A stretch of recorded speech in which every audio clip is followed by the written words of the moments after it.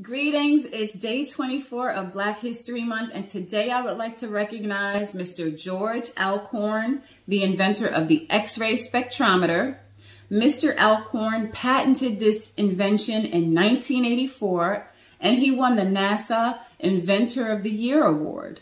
Mr. Alcorn enjoyed a prestigious career at companies like NASA and IBM, and if you didn't know, an X-ray spectrometer is a machine that allows you to see the materials that an object is made of where you require or they require closer analysis. Thank you so much for joining me today. Thank you for listening. I will see you tomorrow.